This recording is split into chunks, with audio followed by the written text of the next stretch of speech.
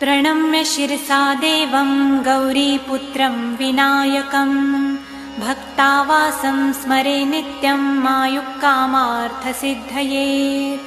प्रथमं वक्रतुण्डं च एकदन्तं द्वितीयकम्। तृतीयं कृष्णपिङ्गाक्षं गजवक्त्रं चतुर्थकम्।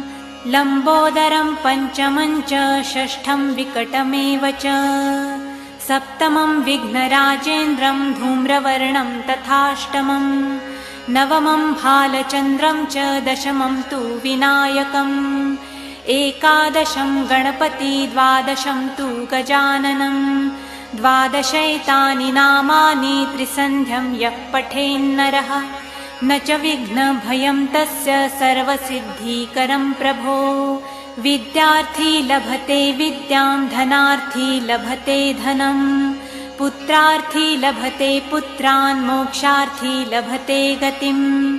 जपेद् गणपतिस्तोत्रं षड्भिर्मासं फलं लभेत्। संवत्सरेण सिद्धिं च लभते नात्र संशयः। अष्टभ्यो ब्राह्मणेभ्यश्च लिखित्वा यात् समर्पयेत् तस्य विद्या भवेत् सर्वा गणेशस्य प्रसादतः। इति श्रीनारदपुराणे सङ्कटनिरसन नाम गणेशस्तोत्रं सम्पूर्णम्